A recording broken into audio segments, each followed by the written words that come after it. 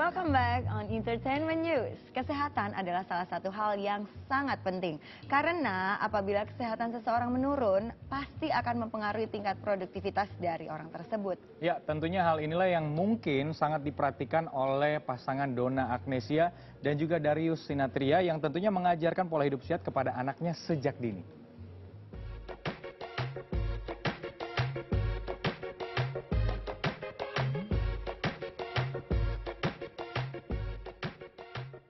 Yang paling simpel adalah uh, kita berusaha untuk menambah jumlah konsumsi buah kita tiap hari. Kalau belum mengkonsumsi buah ya mulailah untuk mengkonsumsi buah. Kalau di keluarga kita, mulai dari aku, Dona, sampai anak-anak udah tiap hari pasti Tiap hari mengkonsumsi pasti, buah. ya. Um, apa namanya, uh, aku pribadi mungkin udah nggak makan nasi putih, jadi benar-benar nasi merah. Kalau di rumah ya, kalau di luar rumah kan kadang terkendala dengan memang nggak ada segala macam. Tapi uh, aku selalu berusaha untuk makanya kalau makan makannya di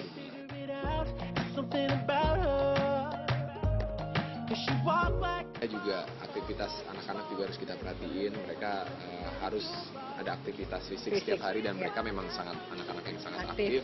Jadi kadang tanpa disuruh pun malah harus agak dibatasin gitu kan. Mereka pengennya tiap hari renang, tiap hari main gitu kan, keluar segala macam. Em, kalau Leo udah mulai aktif main bola juga sama teman-teman sekolahnya, kadang di lingkungan rumah juga udah mulai main bola gitu. Jadi eh, karena mereka sekarang udah sekolah tiap hari harus kita sedikit batasi juga gitu. Jangan sampai berlebihan.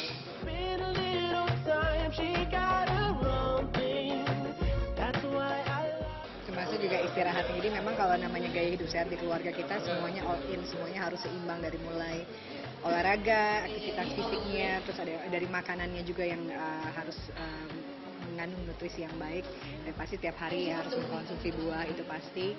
Kemudian juga istirahatnya juga cukup gitu kan. Anak-anak juga dibiasakan sebisa mungkin kalau bisa harus tidur siang setiap hari supaya jadi aktivitasnya. Karena udah mulai sekolah kan Leo sama Diego jadi memang benar-benar uh, istirahatnya cukup. Gitu.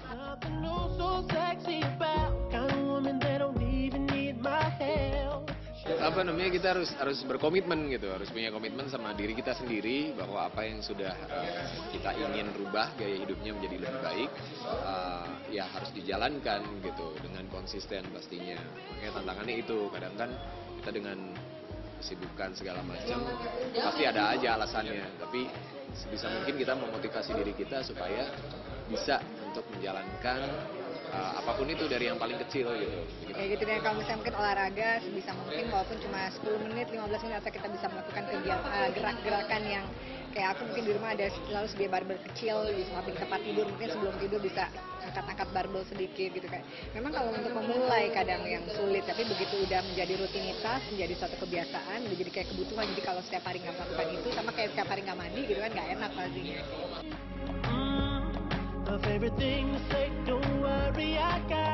Kalau sekolah pasti gitu dan mereka juga di sekolah eh, apa eh, ada hari-hari tertentu yang memang harus bawa sayur atau harus bawa buah gitu. Dan kadang walaupun memang nggak dimakan gitu kadang eh, anak-anak kan lagi ada yang masanya sulit makan sayur kayak gitu tapi pasti dibawain gitu.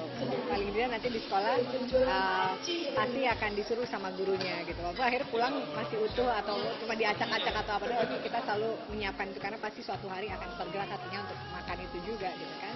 Apa di rumah selalu sedia buah gitu iya gitu. Tiap hari pasti macam-macam. Ada yang suka apel ada yang suka jeruk suka jambu gitu misalnya terus eh, memang sebisa mungkin anak-anak makan di rumah gitu juga. Kalau misalnya kita mau pergi diusahakan sebelum pergi lebih baik makan dulu. Jadi begitu nanti aktivitas di ke mall atau ke mana nanti udah makan mereka dari rumah. That's why I love her.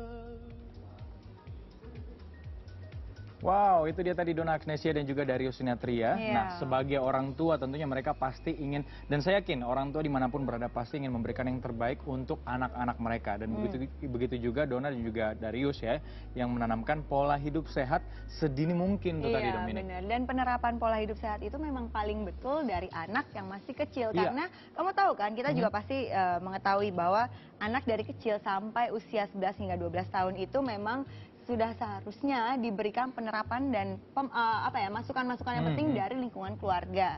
Dari situ anak itu kan nanti sudah karena nanti akan beranjak remaja, usia remaja menuju dewasa. Nah, Betul. dari usia remaja menuju dewasa itu kan mereka akan bertemu di eh, di luar lingkungan keluarga aja ya kan ada teman-teman, Iya. sosial, pekerjaan. Jadi kalau dari kecil prinsipnya sudah kuat, Mhm. pola hidupnya, makan, kesehatan, terus em, mentally, physically kayak gitu. Jadi pastinya nanti pada saat dia tumbuh kembang prinsipnya udah kuat dan juga menjadi anak yang benar-benar apa ya eh, apa ya saya bingung Eh, ngomonginnya ya punya prinsip yang sangat- kuat lah. iya prinsip yang kuat udah pasti gitu kan kamu setuju nggak Setuju banget ya Hmm. dan tentunya kan semua segala sesuatunya harus dibiasakan dulu. Kalau sudah biasa pasti akan bisa, ya kan? Iya, kalau Betul kan? sudah- ya, semuanya bermula dari terbiasa dulu ya. Terbiasa dulu pasti akan Oke. bisa. Wah,